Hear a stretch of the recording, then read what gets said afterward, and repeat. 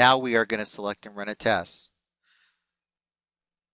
Just to summarize what we've done so far, we first opened the application and connected to the chassis and reserved the ports. Since we're using the OSPF v3 conformance test suite as an example, it uses up to three ports. So I selected the appropriate ports. Once connected, I'm going to configure the ports. So I'm going to collapse the conformance test suites and select each port and set up the appropriate physical layer parameters. All three ports will be copper running at 100 meg full duplex.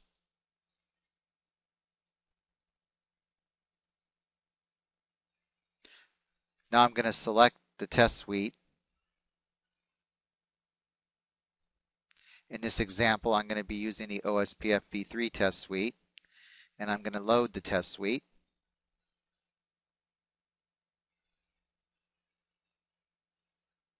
Once loaded, I'm going to set the parameters. Right now I'm using configuration 1. I'm going to go ahead and set to default.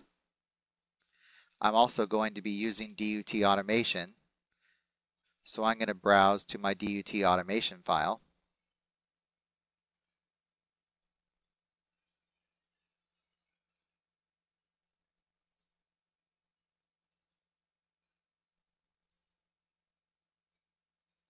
I need to change the file type to XML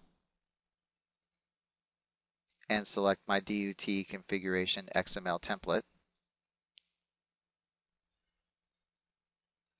And since I'm using default parameters, that's all I need to do for my set parameters. I need to map my ports to my PCOs. In this case, test configuration 1 only uses a single port associated with all three PCOs. Before I select and run tests, I need to load my DUT configuration file.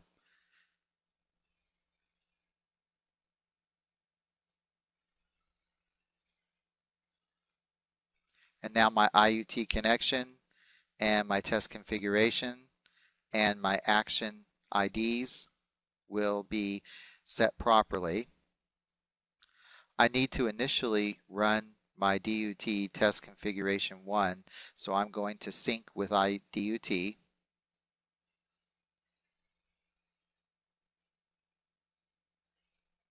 So you can see it's opening up a telnet session and it's going to configure for test configuration 1 via the parameters in the XML file. First goes into enabled mode. And then configuration terminal mode.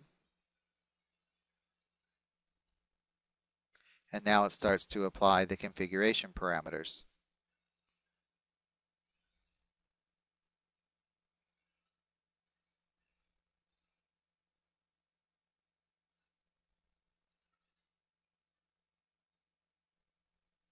I'll point out that when you run a test scenario, it will automatically sync with DUT for you.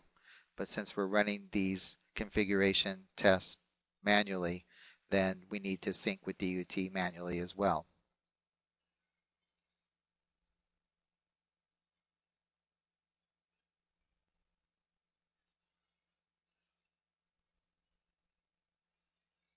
So now it's done configuring and it disconnected from the IUT automatically. I'm ready to select and run my tests. For this example, I'm only going to use three test cases. I'm going to start with test case 114, which does not require any user interaction. Next, I'm going to run test case 115, which does require user interaction. Next, I'm going to go to 3215. And the reason I'm going to go to 3215 is because I know that test case will fail and so we'll be able to see that and determine why. So once I've selected all my test cases, I can go ahead and run those test cases. Starting with test case 114, And so I'm going to click Start. And now you can see how test case 114 has an icon indicating that it's running. So as you can see in the status bar, it's now automatically applied the objects. Each test case is going to take some time to run because it has to go through the adjacency parameters and sometimes wait for dead timers to expire or various functions of the state machine to complete. I'm going to go ahead and fast forward to where this test case is complete and it's picked up with test case 115.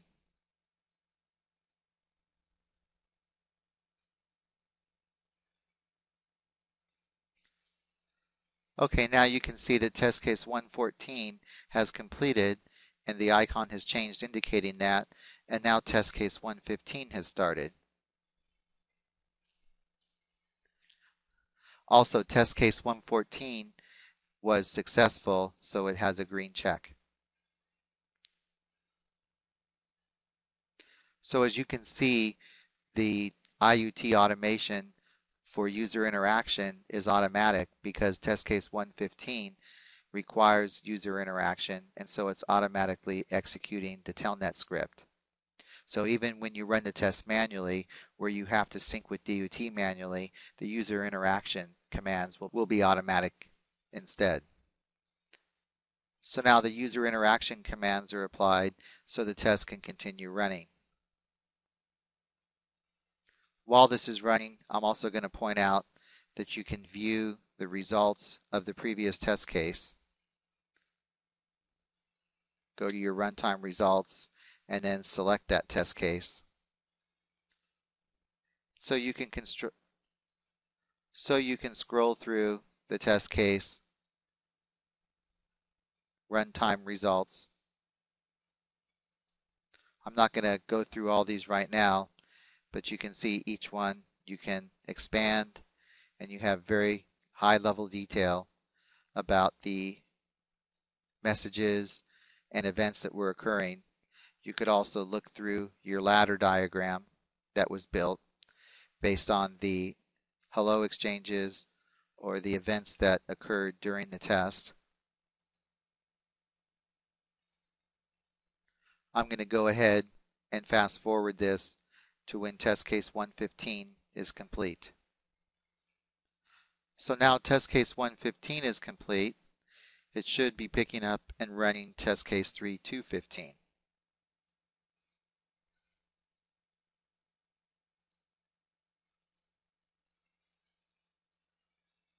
And now we can see that is the case.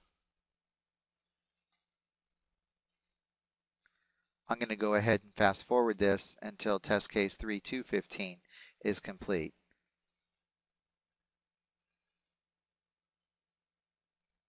So as you can see, test case 3215 is complete, but its icon is indicating that it failed.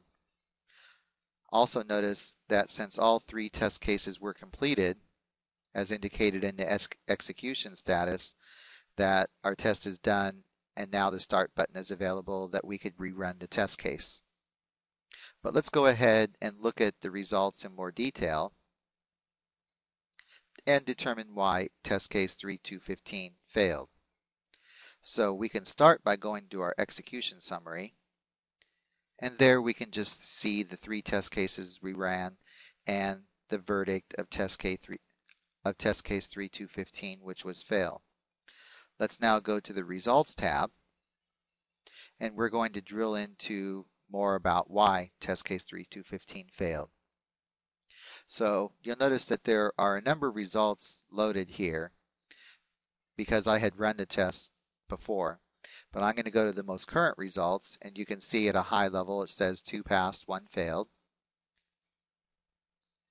And now we can select the failed test case and of course, we know the verdict has failed. But let's try to determine why. So I mentioned the summary also gives you details of everything that was happening during the test. And we could scroll through there and try to determine why it failed. But an easier way to do that would be to go to the ladder diagram and find where the failure occurred. Notice we have a preliminary pass, and if I click on there, it takes us directly to the event that passed, and that is because the database exchange was complete. In other words, we were able to come to a full adjacency. But let's scroll down farther to where it failed.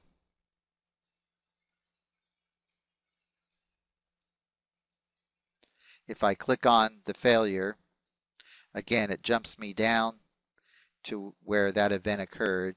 And now let's open up and look at the trace info. And it gives actually gives us the detail, the network LSA with expired age not received from the IUT. So now we have a very good indication as to why it failed. If you're wondering, well, why was that a condition of this test case, you could always go back to your testing.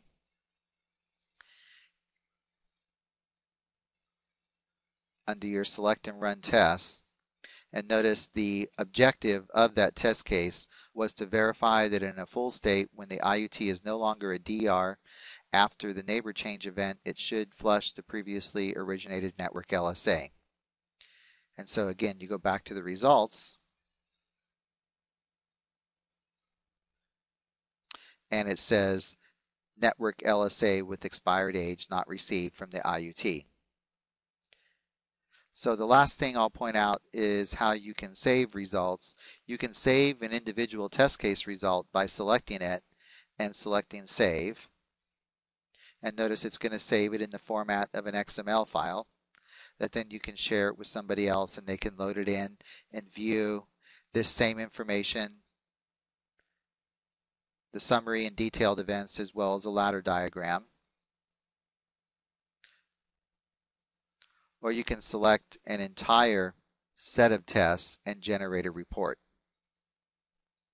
And notice it's actually going to create HTML reports.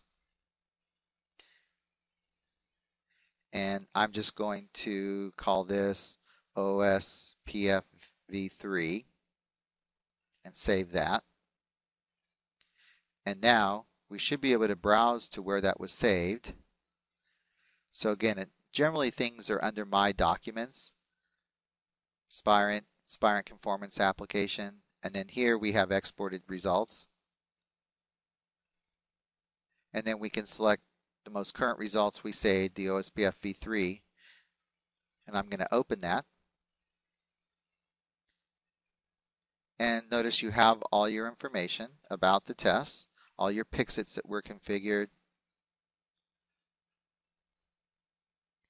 And then for each test case, you can click and open up that test case separately.